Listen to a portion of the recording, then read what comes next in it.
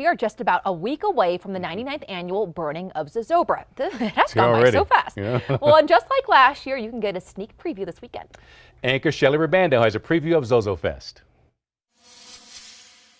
Well, the first thing they're going to notice is the Zozobra's ginormous head. Get ready for Old Man Gloom. People are welcome to take a selfie with him looking over their shoulder. He's a pretty nasty looking character this year. He's definitely got a little bit of a scowl on his face. Ready to make his 2023 debut at Zozo Fest. We have an incredible variety of artwork. We have poetry, we have beautiful photographs, some great sculptures. There's a Lego piece by Robert Pineda, one of our favorite artists.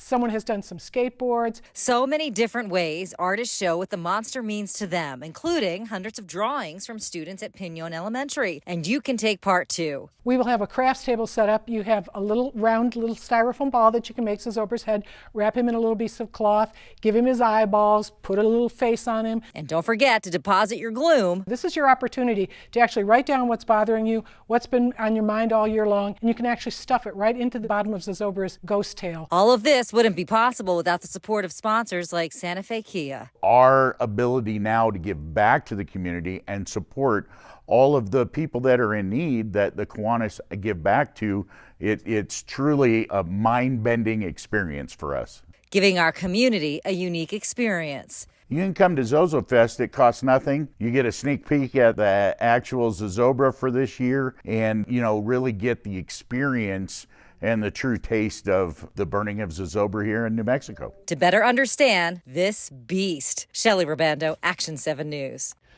So Zozo Fest starts Friday night, runs from 5 until 8, Saturday from 10 until 6, and Sunday from 10 until 4. The event is free. And don't forget, KOAT is the only place to watch Old Man Gloom burn live on September 1st.